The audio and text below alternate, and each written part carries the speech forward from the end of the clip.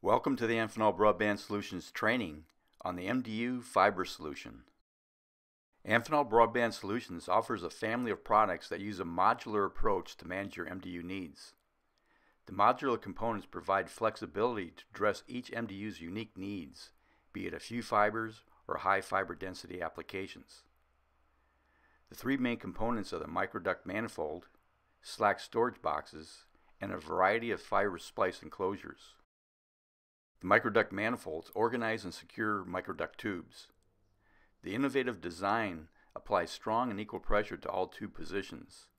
The manifold plates stack on top of each other to minimize the footprint on the wall and provide stability. The cover is designed to provide protection for the fibers as they transition from the microduct tubes to the wall mount closure. The label allows for proper identification and tracking of the microducts and fibers. If higher capacity is needed, the manifolds can be installed side by side.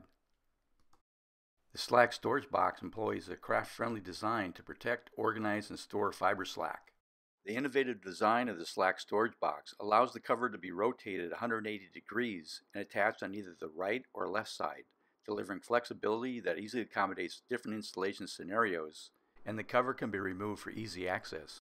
Routing of the fiber is determined by the desired entrance and exit ports. Most storage applications can be completed storing the fiber cords in counter or counterclockwise loops. An S-bend can be executed if the exit port is on the opposite end of the entrance port. The slack storage box can be orientated so that the ports line up with the ports on the fiber splice boxes. The top and bottom ports of the slack storage box align with the FSB-A enclosures. As shown in the picture, the left ports align with the FSB-D and the right ports align with the FDE boxes. There are several styles of fiber splice boxes available. Here I'm showing the FSB A and D and the FDE. These aluminum enclosures are designed for high density splice storage, with emphasis on proper fiber management and versatility. Each enclosure has four cable ports and tie down features. The enclosures can be configured at the time of ordering for either ribbon splicing or single fiber splicing. The ribbon splice configuration uses removable snapping cradles and utilizes the base of the enclosure as a splice tray. Single fiber splice configurations use removable splice trays that are mounted in the box. There's a variety of fiber splice boxes to accommodate your fiber splice capacity needs.